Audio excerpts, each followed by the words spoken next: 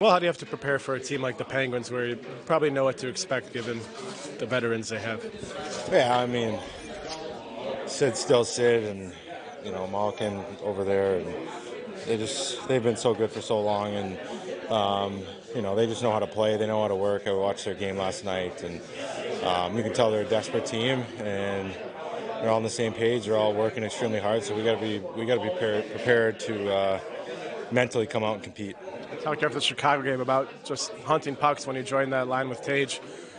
What worked in the following game? What are you guys trying to do tonight? Um, I don't know, just just play. You know, I just play my game and um, you know try and go get the puck and and make sure I'm good on the forecheck and creating as much time and space for these two as possible. You know, they're obviously great in space and and they can make some special things happen and.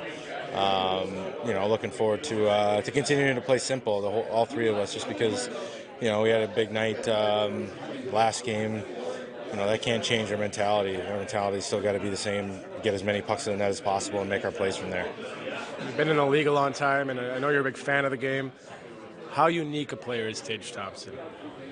Um, well, I mean, you just don't find a lot of guys with that are his that are his size and can handle the puck the way that he does. And you know, he's just growing into the player that he's going to become. And um, you know, you're seeing snippets of it here and there. And obviously, he's got a lethal shot as well. And um, just the way that he's able to control the puck and and get positioned so easily and get his head up and make plays. It's um, yeah, it's it's definitely unique. It's um, you know when Kopitar was, you know, he's still a tremendous player, but when he was in his prime, is kind of similar to that. You just could never get the puck from him, and um, you know he just he moves so well too for a big man, and uh, definitely a unique unique player. What do you think about the reverse retros?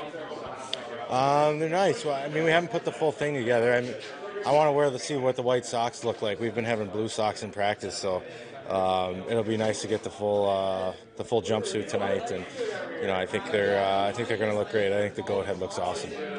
Thanks, Yeah.